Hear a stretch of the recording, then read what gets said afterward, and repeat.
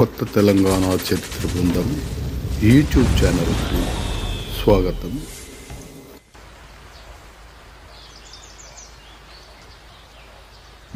రంగారెడ్డి జిల్లా శంషాబాద్ మండలం పెద్దగోల్కొండ. ఇది ఔటర్ రింగ్ రోడ్డుకి ఆనుకొని ఉంటుంది. ఈ పెద్దగోల్కొండలో వీళ్ళు ఒక స్థానికంగా ఒక ఆలయం ఉంది. దాని పేరు భగీరథి శివాలయం. ఈ భగీరథి శివాలయం ఎందుకు అనుకున్నారు అంటే గతంలో ఇక్కడ ఒక ఆలయం ఉండేది అది శిథిలమైంది.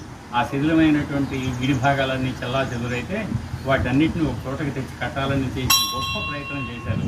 ఆ ప్రయత్నం అనుకున్నంతగా ఫలించకపోయినా ఆలయం కట్టుకోవాలనుకున్న గ్రామస్తుల కోరిక తీరింది కాబట్టి అది కూడా చాలా కష్టం మీద తీరింది కాబట్టి దానికి భాగీరథి భగీరథి ప్రయత్నం చేశాం మేమని భగీరథి శివాలయం అని పేరు పెట్టుకున్నారు అది ఇటీవల కాలంలో. అయితే ఈ ప్రాంగణంలో మనం చూస్తే ఇప్పుడు మనం ఇక్కడ ఉన్నటువంటి ఈ గణ గణేశ విగ్రహాన్ని చూస్తే మనం ఇది కళ్యాణి చాళుక్యుల చివరి కాకతీయుల తొలి కాలపు ప్రతిమాలక్షణం కనిపిస్తుంది. దీనికి రెండే చేతులు ఉన్నాయి. మీరు చూడండి. ఒక చేతిలో లడ్డు అదే మనం మోదకం అంటాం. మరో చేతిలో విరిగిన దంతాన్ని పట్టుకుని ఉన్నట్టు రెండే రెండు చేతులు ఉన్నాయి. ఆభరణాలు కూడా చాలా సింపుల్గా ఉన్నాయి. లలాట పట్ట ఉంది. మౌక్తిక లలాట పట్టం అంటాం దాన్ని. అంటే ముత్యాలతో తయారు చేసిన లలాట.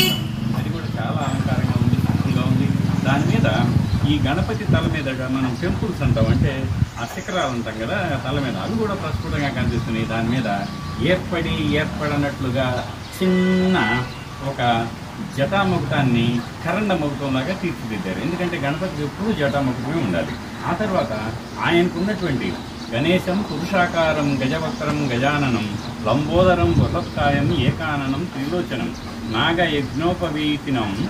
కరస్థల సబుకం చేయవ గజహస్త సంయుతం అని ఆయనకి ప్రతిమా లక్షణం ఉంది. ఆ ప్రతిమా లక్షణం ప్రకారం ఆయన ఎలా కూర్చొని ఉండాలి అంటే ఆ తనకున్నటువంటి బృహత్కాయానికి లలితాసనం. ఇలా ఇలా ఇంతకంటే ఆయన ఎక్కువగా ఈజీగా కూర్చోలేడు అందువల్ల దాన్ని లలితాసనం అంటారు.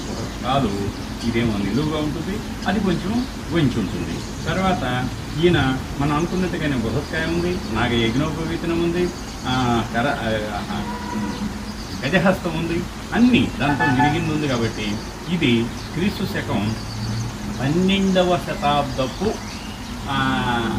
ప్రతిమా లక్షణాన్ని పోలి ఉంది కాబట్టి మనం కళ్యాణి చాళుక్యుల కాకతీయుల ఆ సంధికాలంలో తయారైనటువంటి విగ్రహంగా దీన్ని మనం పేర్కొనవచ్చు. తద్వారా ఏం తెలుస్తుంది అంటే మనం గతంలో కూడా అనేక కళ్యాణి చాళుక్య శాసనాల నగరం చుట్టుపక్కల చూసాం ఇది మరో ఆధారం హైదరాబాద్ నగర చిత్ర పునర్నిర్మాణానికి ఇది మనకి దోహదం చేస్తుంది.